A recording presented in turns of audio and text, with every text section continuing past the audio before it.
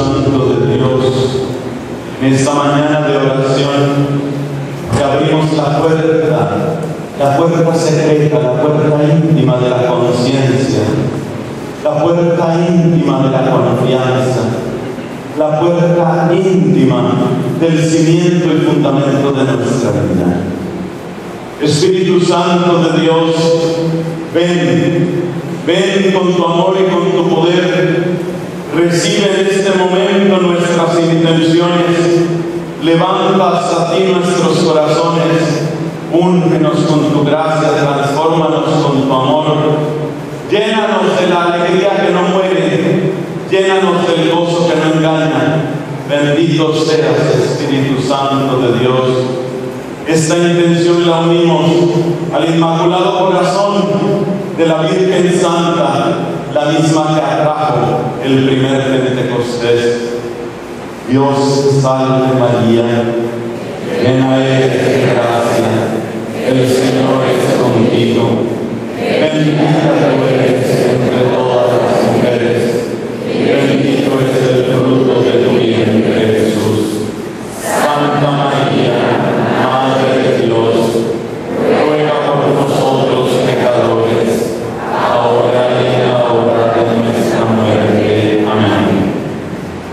La bondad de sentarse en silencio. Amigos, vamos a compartir un poco de la historia de Pentecostés. Qué hermoso saber que no es únicamente un recuerdo, hermoso saber que es vida y realidad de nosotros.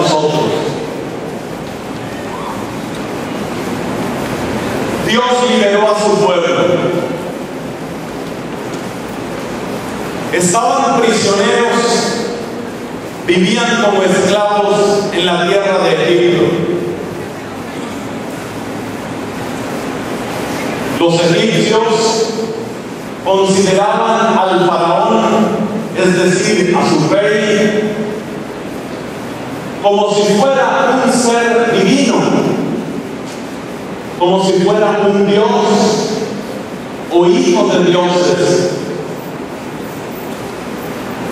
La palabra del faraón era palabra definitiva e inapelable. Los hebreos, descendientes del gran patriarca Abraham, herederos de una promesa que no tiene término, vivían no por la libertad de los hijos de Dios, sino como siervos, como lacayos de ese faraón que disponía de ellos con la misma libertad y con la misma arbitrariedad que se dispone del ganado o de las bestias. Y llegó un momento en que el faraón sintió temor por el crecimiento del pueblo hebreo,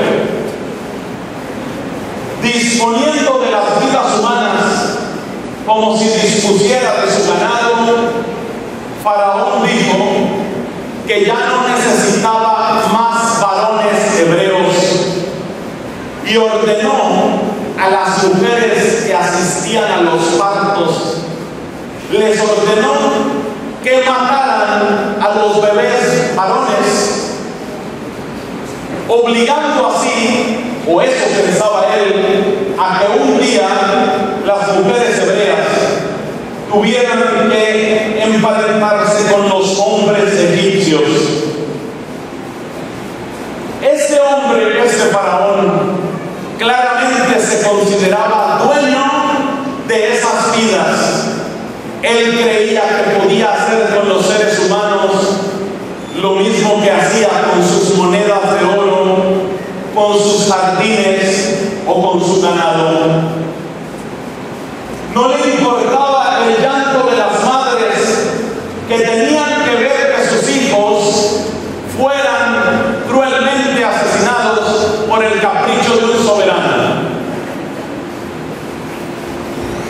Pero Dios, Dios no toleró esa injusticia. Dios no permitió que su pueblo fuera así maltratado y triturado. Y les envió a un líder al cual llamó por su nombre. Ese hombre se llamaba Moisés. Moisés, salvado milagrosamente de la del Nilo, creció en la corte del faraón, pero era sangre hebrea la que corría por sus penas. Él no desconocía su origen y tenía sensibilidad suficiente para dolerse por la injusticia con que su propia raza era despedazada un día y otro día. Moisés intentó primero resolver las cosas con su propia mano, hacer justicia a su manera, pero ese intento fracasó. Perseguido por los egipcios, huyó al desierto, pero allá en el desierto lo persiguió el amor de Dios. Y como cuenta el libro del Éxodo en el capítulo tercero, Moisés escuchó la voz del Señor que le hablaba desde una zarza que ardía sin consumirse. Y entonces esa voz de Dios envía a Moisés para que le dé un regalo al faraón. Lo que tiene Moisés que decirle al faraón es que deje salir al pueblo para que el pueblo pueda ofrecerle culto al Señor. Ese lenguaje, aunque pareciera sencillo, era insoportable para el faraón, porque el faraón se creía Dios y por eso no podía tolerar que otro Dios, así fuera Yahvé o fuera quien fuera, quisiera recibir culto. Conocemos bien la historia, hermanos. Se da una especie de pulso, una confrontación entre Moisés y Faraón. Y finalmente, después de recibir la reprimenda de Dios, el faraón deja salir al pueblo hebreo. Se arrepiente, se arrepiente de lo que ha y envía a su ejército a perseguirlos, pero la victoria de Dios se consolida a las orillas del Mar Rojo. Y el pueblo experimenta liberación. Y el pueblo experimenta lo que es salir del pésimo gobierno del faraón y llegar a la amable, a la cuidadosa, a la hermosa guía de Dios. Pero hermosa y dulce como pueda ser, sin embargo, es un camino de despojo porque es camino por el desierto. Es aquí, mis hermanos, es en esta historia donde tenemos que encontrar las primeras raíces de Pentecostés. El pueblo ha salido de la ley del faraón y la pregunta es, ahora que han sido liberados, ¿cuál será su ley? Caminan y caminan por el desierto. Unos 50 días después de haber salido de Egipto, llegan a una montaña santa. Esa montaña es el Oreb, esa montaña es el Sinaí.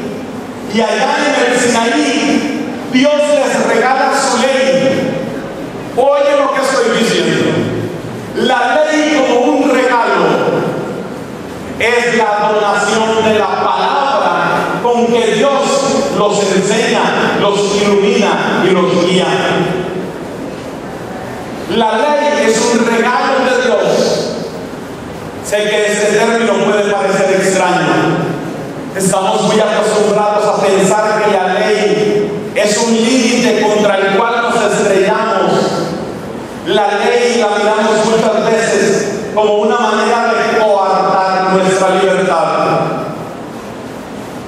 Pero aún las leyes más sencillas, cuando son justas, tienen el sello de la libertad del bien. Por ejemplo, si hay un límite de velocidad en una carretera,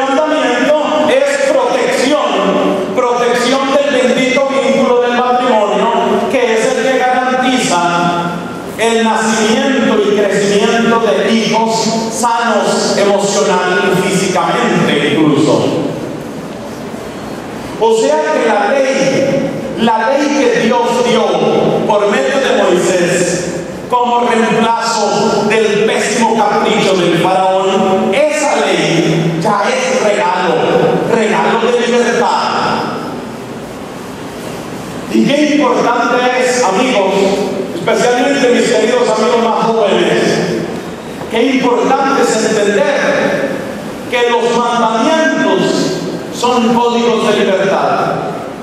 Y que si nosotros desde temprana edad nos acostumbramos a valorar los santos mandamientos, estamos protegiendo nuestro futuro. Porque al principio parece fácil decir una mentira para quedar bien. Parece fácil sobornar, mentir, traicionar, envidiar. Eso parece fácil y el pecado tiene siempre primero un rostro de ventaja y de placer. Pero las consecuencias amargas del pecado pronto se muestran y esas consecuencias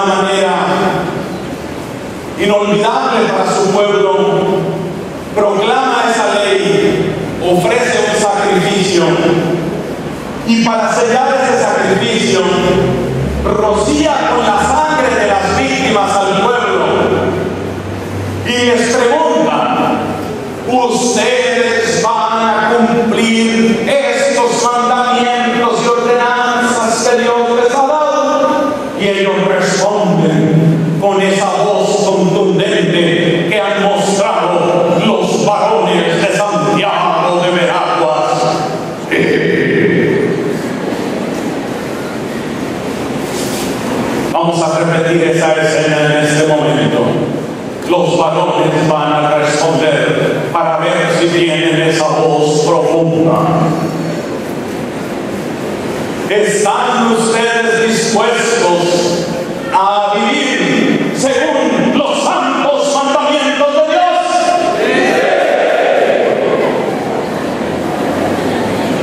Los varones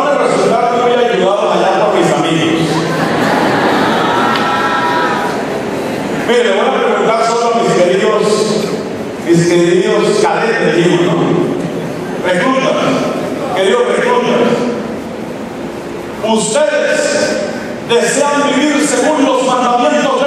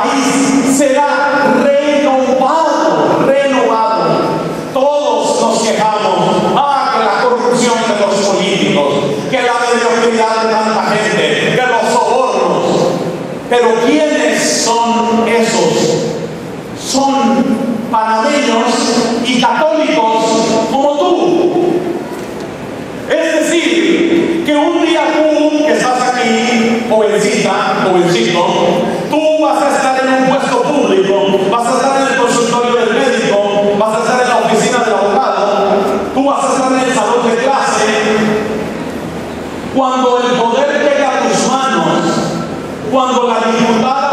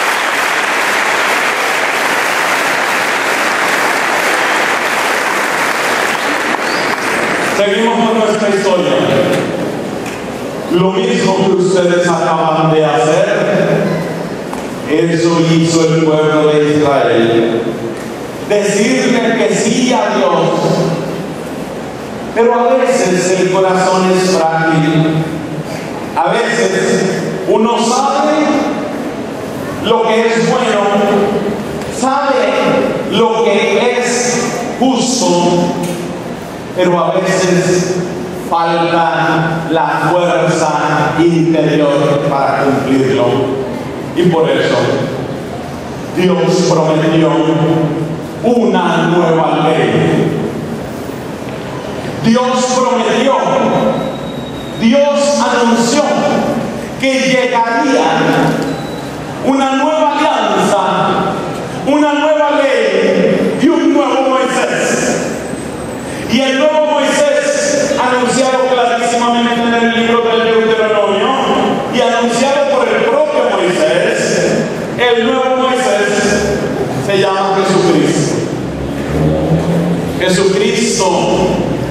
que se atrevió a decir palabras como esta.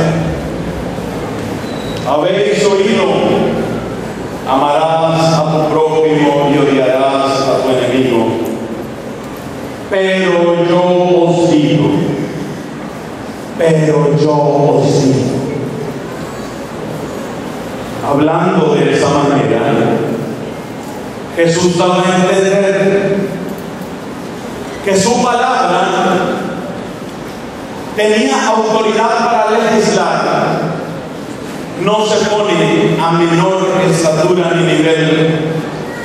Y de hecho, dice estas palabras, no he venido a abolir la ley, he venido a darle plenitud. Y el mismo Cristo refiriéndose a la sagrada institución del sábado, dice, el Hijo del Hombre es Señor del sábado. El sábado estaba en los mandamientos de Dios.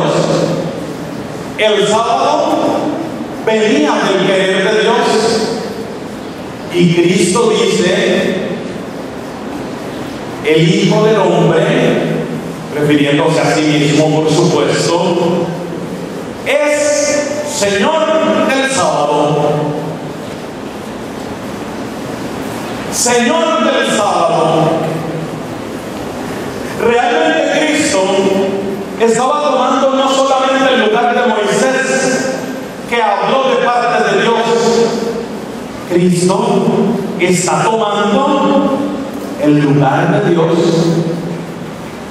Por eso, según cuenta el capítulo quinto del Evangelio según San Juan, en su disputa con las autoridades judías, Jesús dice, antes que Abraham existiera, yo soy. Y por eso en ese mismo evangelio se cuenta la acusación que le hacen los judíos, que querían apedrearlo. Y Cristo les dice, ¿y por qué obra buena quieren apedrearme? Y ellos dicen, no te vamos a apedrear por ninguna obra buena, sino porque siendo hombre te haces igual a Dios.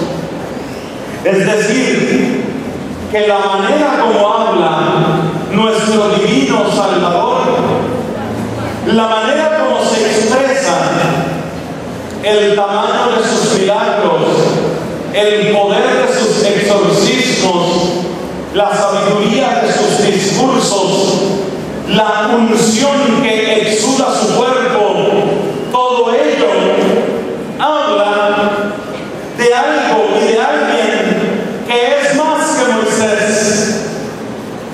Oh sí, Jesús, Jesús es aquel que viene a traer la alianza nueva, porque Moisés hizo alianza, pero ya Dios después de Moisés que esa alianza de Moisés tenía que ser superada. Sellaré con ustedes alianza nueva, escribiré mi ley en sus corazones, porque la ley de Moisés es buena y santa, pero es una ley que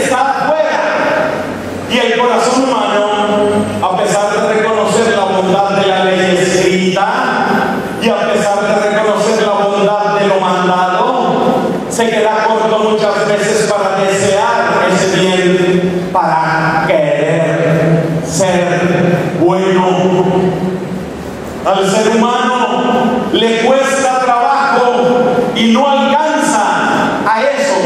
Eso no está en nuestro poder. Descubrir dónde está el bien, descubrir qué es lo bueno, eso lo alcanza nuestra razón. Pero amar, preferir lo bueno con la libertad que solamente da el amor, querer lo bueno, ah, para eso se necesita tener la nueva ley, se necesita que el corazón y esto también lo prometió Dios.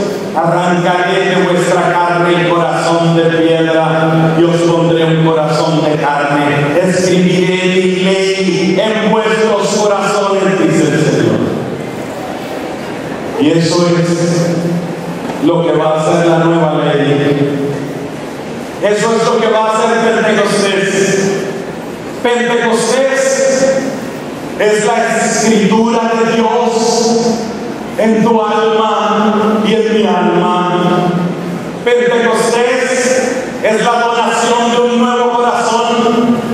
Pentecostés es la acción íntima, profundísima, irreemplazable de Dios que hace que el bien sepa bueno y que uno pueda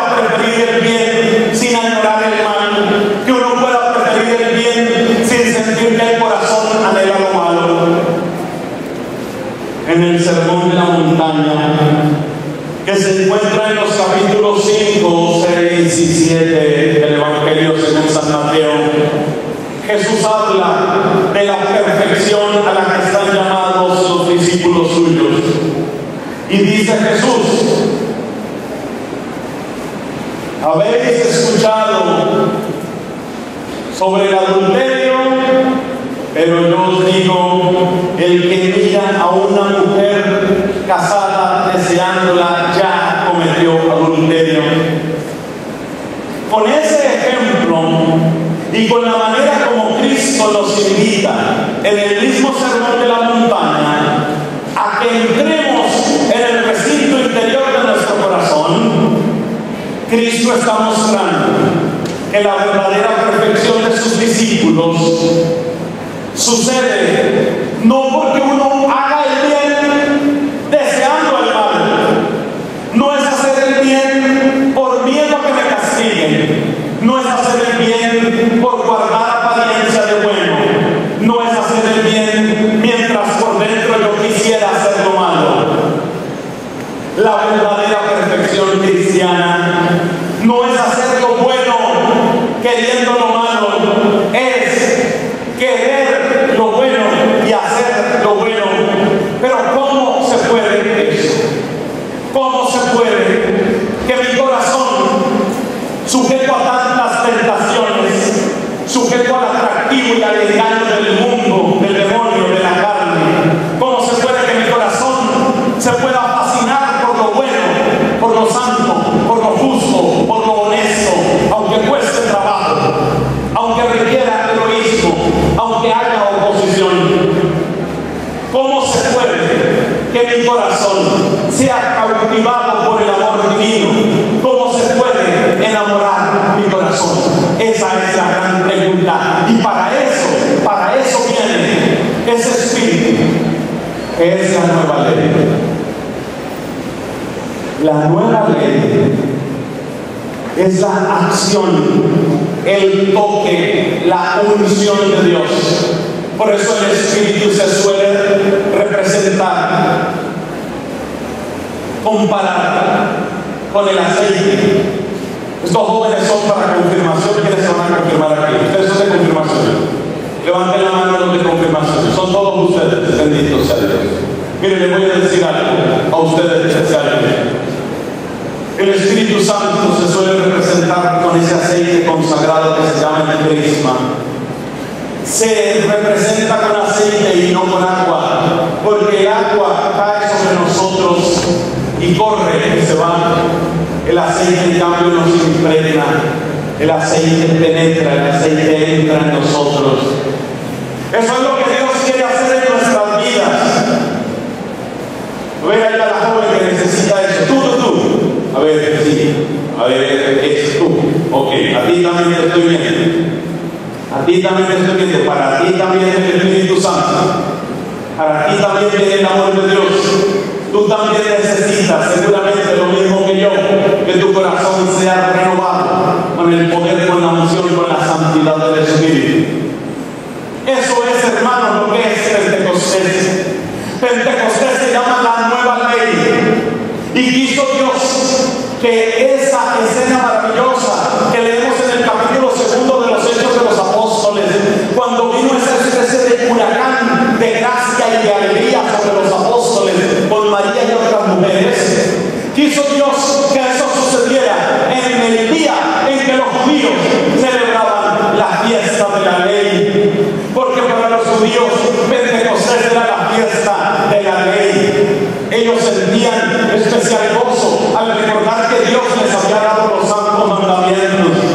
Y Dios quiso darles la nueva ley en el día en que los judíos celebraban esa fiesta, indicando que no basta tener los preceptos allá, no basta tener los mandamientos enfrente de nosotros, necesitamos que eso llegue a nuestros corazones, necesitamos que eso quede escrito en nosotros. Y esa es la nueva alianza. La nueva alianza de Dios es esa.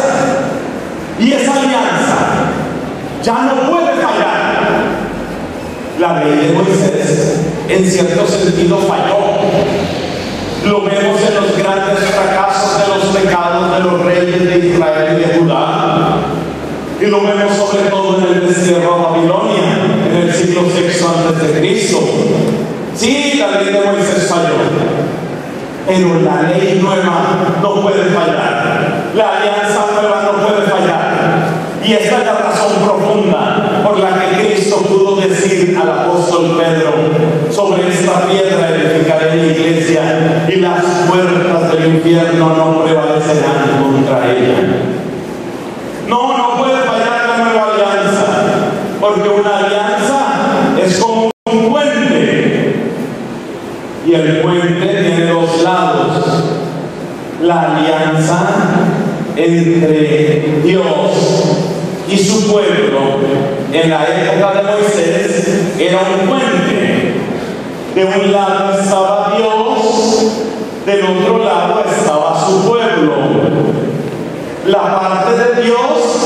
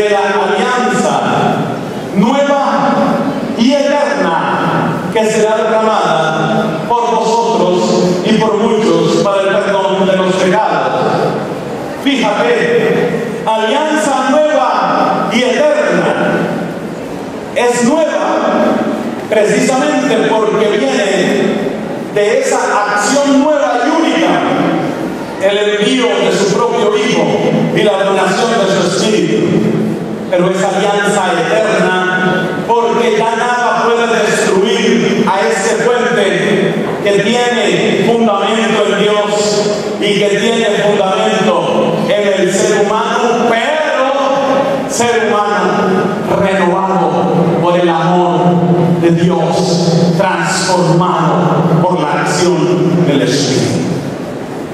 Vamos a resumir entonces lo que hemos dicho. Dios liberó al pueblo de la antigua alianza. Eso sucedió en la Pascua, alrededor del año 1300 antes de Cristo. El líder fue Moisés. A orillas de la montaña santa, la montaña del Sinaí, Dios otorgó un regalo a su pueblo. Ese regalo son los santos mandamientos. Le dio mucha ley, muchas leyes, pero podemos decir que el corazón de toda esa legislación está en los diez mandamientos que tienen un valor ciertamente permanente.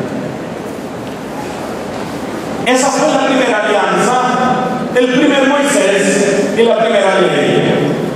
Todo muy bello, todo muy grande, pero hay un problema. Y es que el ser humano no necesita solamente conocer lo que es bueno, sino quererlo. Y querer lo bueno, preferir lo bueno, es algo que solo realiza Dios cuando toca, abraza, besa, unge nuestro corazón.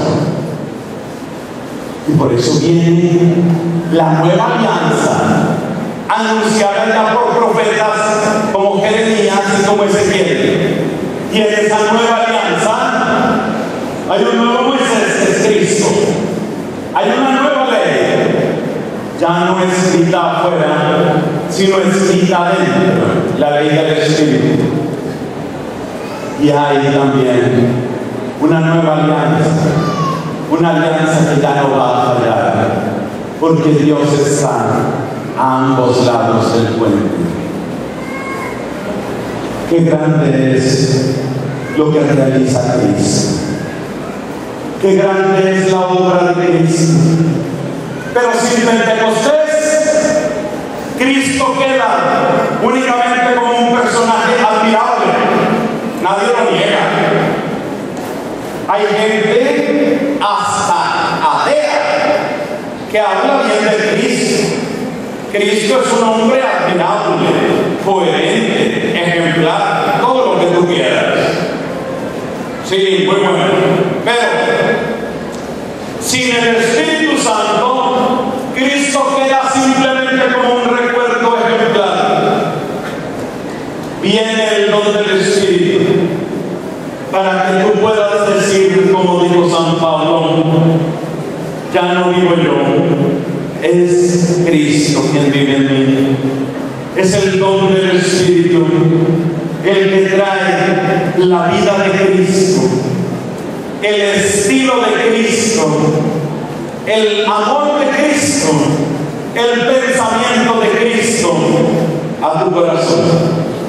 Es el Espíritu Santo el que llega a ti para que tu vida pueda ser verdaderamente cristiana, verdaderamente vida de Cristo. Vamos a orar, hermanos. Vamos a orar en este momento. Tenemos tres grandes grupos en este hermoso coliseo, en este hermoso gimnasio. Tenemos aquí los amigos que están a mi derecha, tenemos los amigos que están en esto que vamos a llamar platea, y tenemos los amigos que están a la izquierda. Y vamos a orar por cada grupo, y vamos a pedir que el regalo del Espíritu Santo llegue a cada uno de ustedes. ¿Cómo vas a saber si te ha llegado el Espíritu Santo?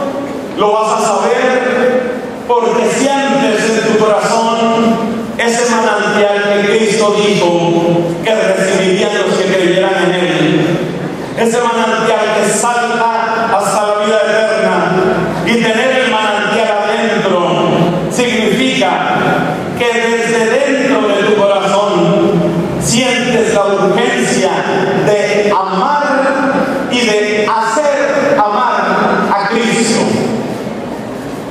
Eso es lo que yo quiero para ustedes, lo de confirmación.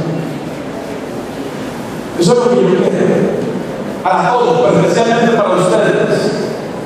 Que venga esa unción del Señor y que tú sientas que amas más, que amas más a Cristo, que te fascina Él, que su estilo se te ha quedado pegado en el alma, que su pensamiento no se aparta de tu mente, que lo que Él propone es su estilo y tu camino para esta tierra.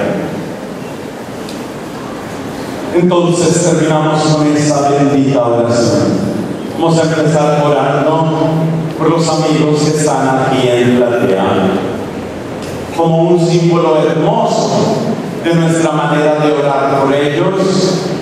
Yo les voy a pedir a los que están a mi derecha y a los que están a mi izquierda, tengan ustedes la bondad de ponerse de pies, ustedes también, y tengan la bondad de hacer ese gesto de amor, que es extender sus manos sobre estos amigos y estas amigas, y extendemos la mano así, porque vamos a orar por ellos. Y ustedes, ustedes hablan sus corazones. Dios quiere visitarlos hoy. Dios quiere ungir con la perfección y la hermosura de su amor sus vidas, sus vidas consagradas, sus vidas como matrimonio, como familia. Dios quiere ungirlos. Vamos a orar por ustedes. Vamos a pedir al Señor que les a que les bendiga. Lo que tú tienes que hacer, lo que tú tienes que hacer es solamente, solamente pedirle a Dios que bendiga a esa gente. Mira, aquí puede haber matrimonios que tienen problemas. Una oración tuya puede ayudar a que los corazones marcados por el egoísmo y por el resentimiento se abran al perdón y al diálogo. Tú vas a creer en la oración, tú vas a creer en la oración y tú, tú vas a creer que tú puedes orar y que tú puedes atraer el don del Espíritu sobre estos amigos. A ustedes les invito a que cierren un momento sus ojos, pero sobre todo a que abran el alma. Ven, Señor, acompaña mi humilde plegaria en unión con estos miles de jóvenes. Ven, Señor, atrae la gracia de la nueva ley, la gracia del Espíritu sobre estos hermanos y hermanas, que sean renovados en tu amor, para que sean renovados en tu poder, para que sean ungidos con tu gracia. Ven, Señor, trae, Señor, el don de tu Espíritu. Bendícelos, bendice sus vidas, bendice su historia, bendice su infancia, bendice su juventud, bendice los matrimonios que están presentes. Renueva el amor de esos matrimonios, renueva la consagración religiosa de aquellas que están aquí presentes. Bendito sea, Señor. Gracias, gracias, Señor. Bendito, bendito seas. Amén, decimos todos. Amén. Ahora, mis hermanos, vengan la gentileza, ustedes de sentarse, vamos a orar por ustedes. Miren, estos servidores de la patria, vamos a orar por ustedes. Están los jóvenes de confirmación, con mucho cariño vamos a orar por ustedes. Allá veo unos amigos que tienen una camiseta, una polera, creo que llaman aquí, color turquesa. ¿Ustedes de dónde vienen? Parece que es el grupo del mundo de Panamá. ¿De dónde vienen los de la camiseta turquesa? Ustedes sí, azul, no sé qué color es ese. Celeste llaman aquí, gracias. Los de la camiseta celeste, ¿de dónde vienen?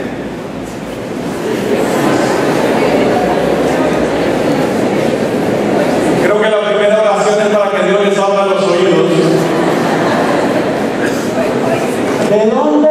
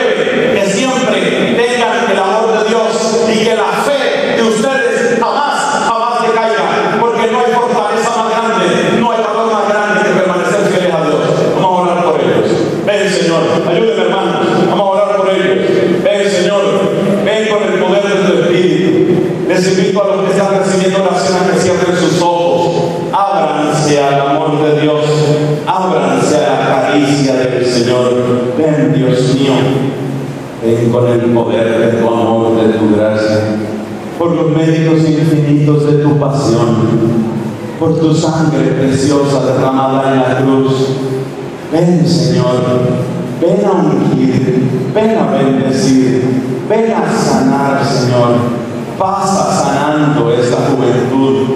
Solo tú sabes, Señor, en dónde necesitan ser sanados.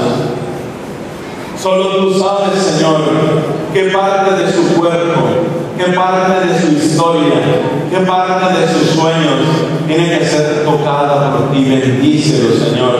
Queremos que tengan un hermoso Pentecostés, un Pentecostés inolvidable, lleno del poder de tu misericordia, lleno de tu misión. Bendito seas, Jesús. Empieza puesta nuestra esperanza. Bendícenos, Dios mío. Bendícelos. Cólmalos con tu gracia y con tu amor. Lo pedimos porque tú vives y reinas por los siglos de los siglos. Amén falta la última oración. Vamos a orar por ustedes. Vamos a orar por ustedes, hermanos. Vamos a pedir por sus familias, por sus amigos, por sus parientes, por sus estudios, por la salud de sus cuerpos. Vamos a pedir, hermanos, que ustedes puedan sentirse amados de Dios, amados de Dios, que ustedes puedan sentirse deliciosamente amados de Dios. Amigos todos, extendamos nuestra mano hacia esta tribuna izquierda, la que está a mi izquierda. Oremos por ellos. Jesús, revela tu amor a estos jóvenes, a estas familias, a estas consagradas. Revela tu amor, Señor, a los matrimonios aquí presentes, a los profesionales, a los profesores, a todos los que se encuentran en esta tribuna. Bendícelos con tu amor, con tu gracia, Señor. Bendícelos, sánalos, Señor, de aquello que necesitan ser sanados, las deficiencias emocionales, familiares, afectivas. Bendícelos, Señor, bendícelos con tu